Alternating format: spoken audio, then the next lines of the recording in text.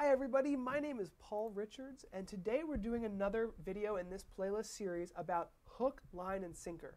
The keys to success for creating special and engaging marketing videos. So this is the hook. I'm telling you what this video is going to be about and now we're going to transition into the meat and potatoes of this video.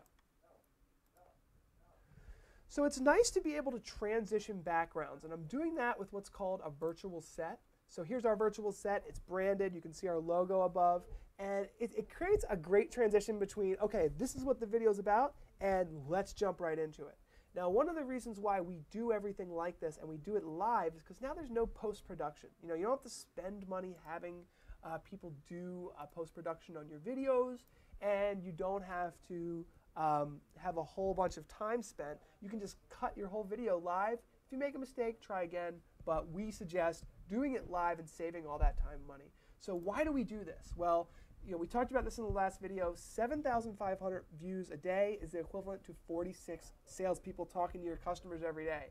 That, coupled with the fact that 90% of customers who are gonna buy or potentially buy from you do their research before they call you, those two together uh, really mean that you need high quality marketing videos to compete in today's market.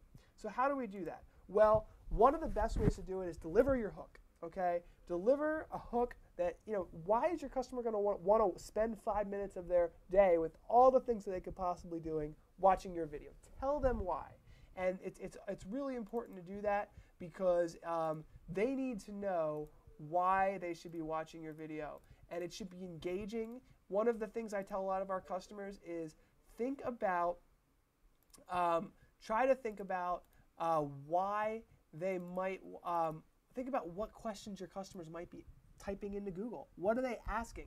Create a list of 10 questions and answer them via video. Um, the line, that's where we are now. This is where we deliver our, our solutions here. This is where we deliver whatever special message we have.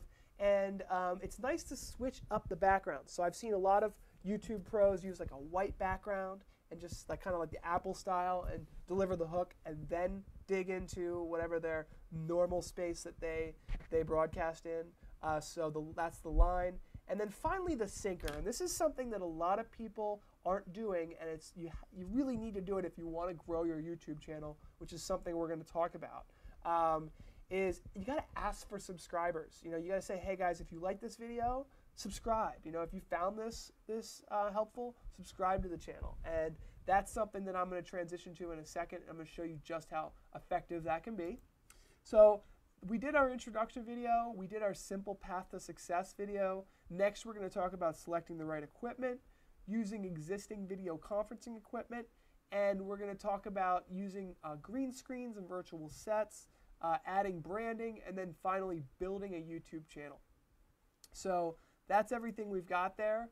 Um, now I'm going to transition into my sinker. Please, everybody, subscribe to our YouTube channel if you found this helpful. Take a look at some of our other videos, and then we've got a free design tool below that will help you build conference rooms and marketing spaces where you can do stuff like this. Thanks, guys. See you on the next video.